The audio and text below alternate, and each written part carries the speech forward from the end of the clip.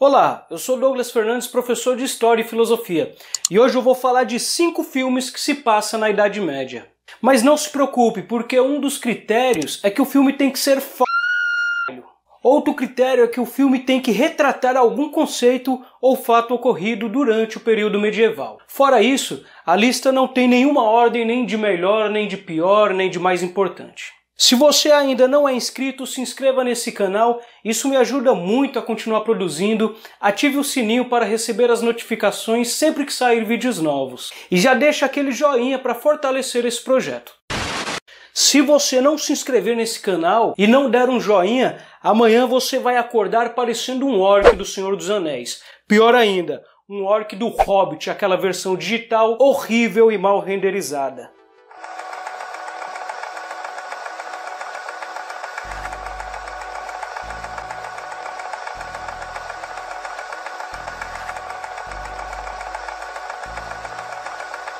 E o primeiro filme é Morte Negra. O filme se passa na Baixa Idade Média, que é quando as características da Idade Média estão sofrendo transformações e declinando até chegar à Idade Moderna. Algumas dessas características que o filme mostra são a queda do prestígio da igreja, a caça às bruxas e a decadência das vilas medievais. O ano é 1348 na Inglaterra medieval, que sofre com a peste bubônica, popularmente conhecida como peste negra um jovem monge tenta salvar da peste uma garota por qual ele está apaixonado, mandando ela para longe. Ela pede para ele fugir com ela, mas ele não quer quebrar seus votos com a igreja. Ela então fala que vai esperar ele por uma semana perto dos pântanos. O jovem monge fica indeciso, até que entra na igreja um grupo de soldados procurando um guia para uma vila que fica perto de onde a garota disse que ia esperar por ele.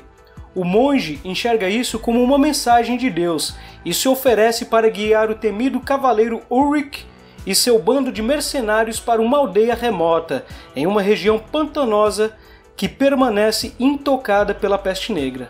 A missão dos mercenários é caçar um necromante, que, de acordo com os boatos, é capaz de trazer os mortos de volta à vida. Ou seja, a boa e velha bruxaria que os cristãos tanto amam. Aliás, eu nunca vi ninguém amar tanto capiroto. Segundo filme é O Senhor dos Anéis. Bom, esse nem precisa eu falar muito, todo mundo já conhece. Mas o que nem todo mundo percebe é que o filme aborda uma outra perspectiva da Idade Média, que é a fantasia e as mitologias nórdicas. Elfos, anões, hobbits e orcs compõem a história. A história é relativamente simples. Na Terra-média, um período fictício, fantasioso e cheio de magia e perigos, inspirado na Idade Média, Frodo, um hobbit, recebe de presente de seu tio um anel. Logo descobre que esse anel é tão poderoso que corrompe quem o usa por muito tempo. Algo tão poderoso tem que ser destruído, pois forças malignas estão há séculos à procura dessa joia, que pode levar o mundo à perdição. O mago Gandalf une todos os reinos na missão de destruir o anel, mas o único que parece ter uma força de vontade tão grande e uma ingenuidade que impede a corrupção de tomar conta do seu espírito é Frodo. Por isso, ele é o encarregado de segurar o anel enquanto reinos o protege contra o exército de orcs e forças malignas. E isso ao longo de uma trilogia com filmes de mais de 3 horas de duração. Eu lembro que correu uma lagriminha no canto do olho no final do último filme e outra lágrima quando fizeram Hobbit. Terceiro filme é Cruzada.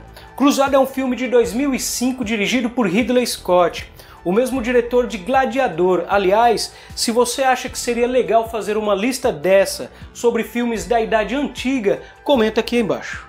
O filme aborda as cruzadas medievais, onde cavaleiros e camponeses marcharam para o Oriente para lutar contra os muçulmanos e recuperar a Terra Santa, Jerusalém. Muitos iam em busca de enriquecimento, aventura ou perdão dos pecados, já que a Guerra Santa era incentivada pela Igreja Católica como forma de reaver o seu prestígio. No filme, Balian é um jovem ferreiro francês que recebe a visita de seu pai, um conceituado barão do rei de Jerusalém, que dedica sua vida a manter a paz na Terra Santa. O jovem, ao qual a mulher e filho tinham acabado de morrer, decide se juntar ao pai e ajudá-lo nessa meta. Com o passar das viagens, o pai morre e deixa de herança terras e um título de nobreza em Jerusalém. Determinado a manter o seu juramento, Balian decide permanecer no local e servir como cavaleiro a um rei amaldiçoado. O mais interessante do filme é entender o lado oriental da Idade Média, a relação entre cristãos e muçulmanos, assim como o Império Bizantino. Quarto filme, Coração de Cavaleiro. Coração de Cavaleiro nem deveria estar nessa lista, porque conceitualmente, no que diz respeito à Idade Média, o filme é bem deslocado. Mas isso é de propósito, pois o verdadeiro intuito do filme é divertir. Nas mãos de um bom professor ou entendedor da Idade Média, o filme pode ser usado para demonstrar a subversão dos valores clássicos medievais. Como, por exemplo, a vontade de um trabalhador medieval de ser enxergado, o contraste entre a nobreza e a servidão, as vilas, os jogos e os ideais, tudo isso contrastando as posições da pirâmide social do feudalismo. Nascido camponês, William Thatcher, interpretado por Heath Ledger, começa uma busca para realizar seu sonho, lutar como um legítimo cavaleiro. Para isso, ele finge pertencer à nobreza. Com a ajuda de amigos, ele enfrenta o teste final de bravura medieval, o torneio de lanças, e tenta descobrir se ele tem a coragem para se tornar uma lenda. O filme tem o ritmo de uma fábula, e eu tenho certeza que você que tem mais de 20 anos já deve ter visto na tela quente repetidas vezes, e nunca se cansou de cantar aquela música do Queen junto quando toca no filme. Quinto e último filme, O Nome da Rosa. O Nome da Rosa é um clássico, todo mundo já assistiu na escola e não conheço ninguém que não gostou. A história acontece no mosteiro medieval da Itália em 1327. Uma série de mortes misteriosas acontecem no mosteiro. Muitos acreditam que é coisa do demônio. Sete mortes em sete dias. Os corpos parecem em lugares estranhos, de difícil acesso, sem um motivo aparente um frade franciscano é chamado para solucionar o mistério e cai nas malhas de uma trama diabólica. Será que o demônio ronda o mosteiro? Tudo piora quando chega a Santa Inquisição. Alguém deve confessar o crime, nem que tenha suas pernas queimadas para isso. O filme é uma grande pontada nos problemas que ainda hoje assombram a sociedade: violências sexuais, conflitos políticos, superficialidade e hipocrisia, questões de poder, esvaziamento dos valores pela demagogia. Tudo isso de forma magnificamente escrita, dirigida e atuada. A trilha sonora desse filme é incrível. Seria do caramba se você me indicasse mais alguns filmes bons. Se esse vídeo tiver bastante like, eu vou fazer uma parte 2 com as indicações que vocês me derem. Se você chegou até aqui, eu tenho certeza que você gostou dessa lista. Então se inscreva nesse canal e me ajude deixando seu joinha. Um beijo no seu coração, grande abraço e tchau!